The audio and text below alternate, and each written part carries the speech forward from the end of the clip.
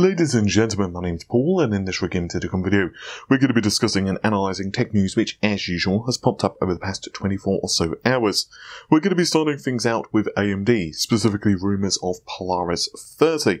So, as many of you know, Nvidia have released the RTX 20 series of cards, but even before that, AMD did not really have a competitive answer to Nvidia's high-end cards such as the GTX 1080 Ti. But what they did do is compete rather well in the mainstream segment.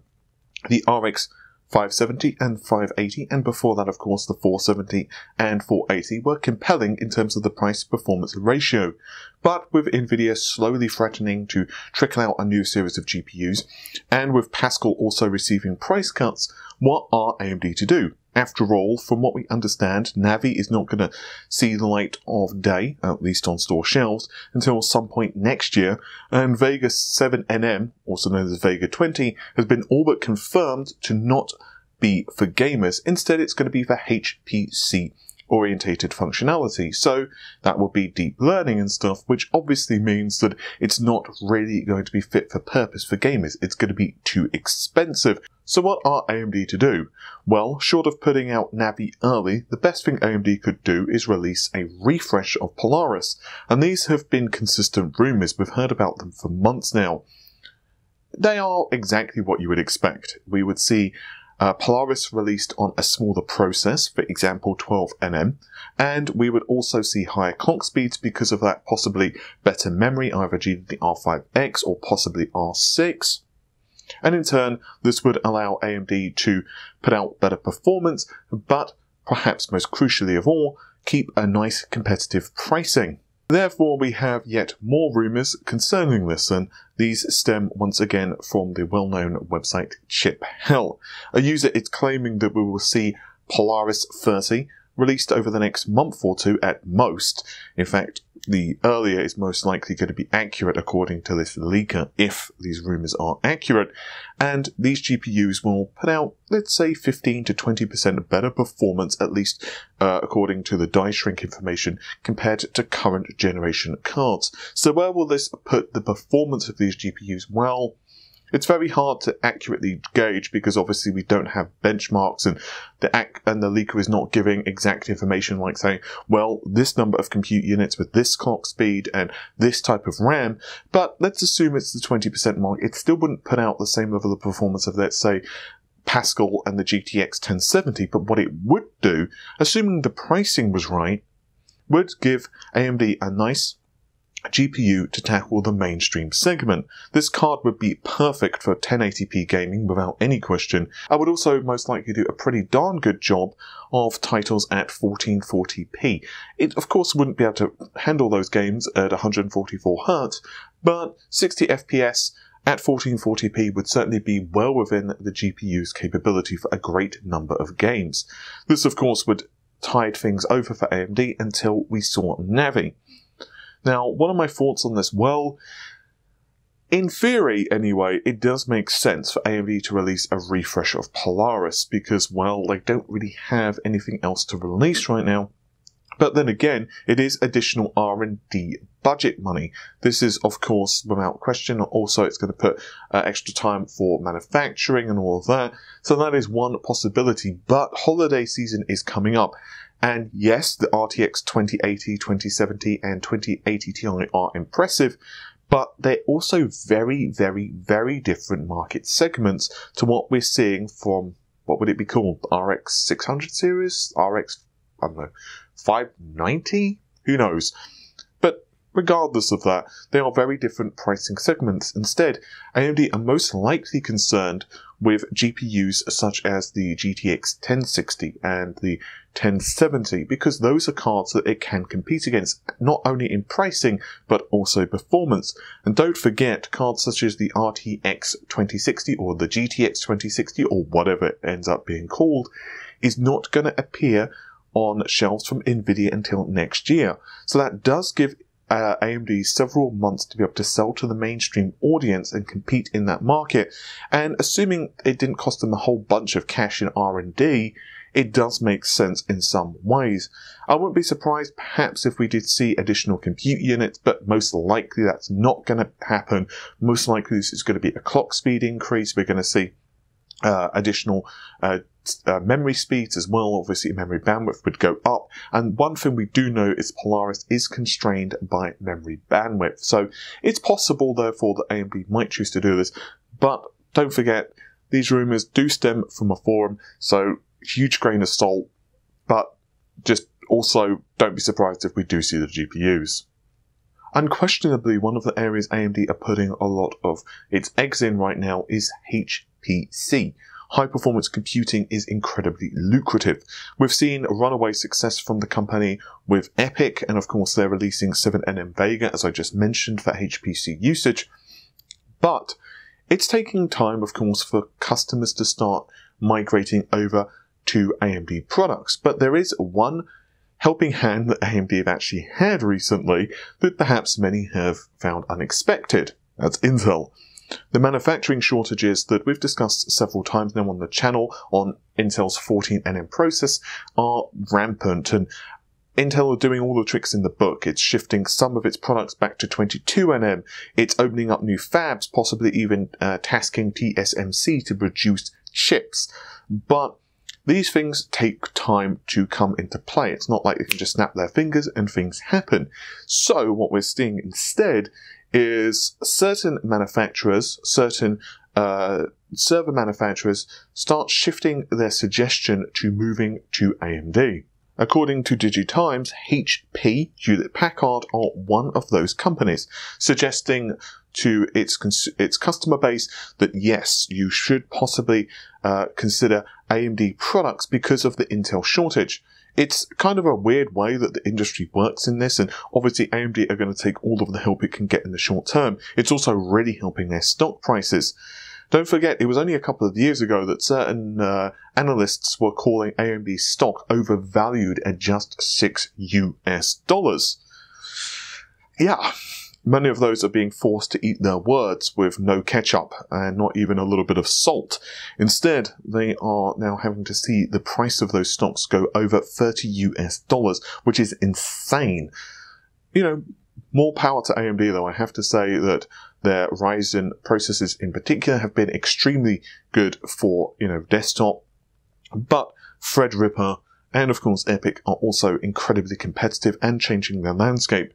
And it's good for us as well because with the ninth generation of processors coming out from Intel, obviously more choice is only a good thing. It's going to be fascinating to see the next several months and to see how things unfold, particularly when Intel can get its uh, manufacturing down to pat, and AMD start to roll out 7nm CPUs. First of all, of course, to EPYC, and then later on to customers with desktops. By far, one of the biggest changes Windows 8 brought over Windows 7 was more focus on touch screen displays. And we saw that, and with the Metro UI, there were a lot of complaints, but for certain devices, tablets, and so on, it was a rather handy feature but it also is a bit of a security risk, at least according to the findings of one researcher. I'm going to put a link to his blog in the video description, but when you enable the handwriting functionality of uh, Windows, later versions of Windows, it creates a list, and this is waitlist.dat. Now, this is a data file which starts to actually record inputs of your system. And it's not just in Windows 8 either, it's in 8.1 and Windows 10, and you could find it uh, on the path that is listed on screen. And we actually have information being stored on this by numerous different applications. In fact, the chap in question claims that we can actually see various emails that he sent and received over the past couple of days appear right there in that list. And this is not just a claim either, it's been tested by several other individuals, and you can actually check it out yourself if you do have this function enabled. If you do not have the home handwriting function enabled though, this will not be there. A small update concerning Nintendo, and guess what? They are working on a Nintendo 64 Classic console. I know that's probably a bit of a shock, so I'm going to give you a few moments to recover. After all, the NES Classic was a runaway success. The SNES Classic, or SNES Classic if you prefer, was also a very popular system. And of course, Sony now are releasing the PlayStation Classic. So obviously it would make sense that Nintendo are following suit here and releasing the N64 Classic. Unfortunately, games are not listed, yet alone the system actually being confirmed, but this has been found on a couple of EU patent filings. Uh, I wonder what games we're going to be seeing. Mario 64, the Zelda, they're probably shoe ins. But do let me know in the comments what you would like to see on a classically designed Nintendo 64. Finally, we're going to discuss another set of rumors concerning the RTX 20 series of cards, but these are very different. These are not concerning performance or any of that stuff. Instead, they're concerning pricing, specifically on pricing tariffs in the United States of America. This information comes to us from the website WCCF Tech, and so far it has not been verified by other sources, but they claim, according to their sources within certain AIBs, that they will be hit with the tariffs that uh, the US are placing on Chinese products. One example that was given would be some MSI products. So, for example, the RTX 2080 Ti Gaming X Trio card would raise a rather hefty amount. It would raise from 1231 US dollars to 1310 US dollars.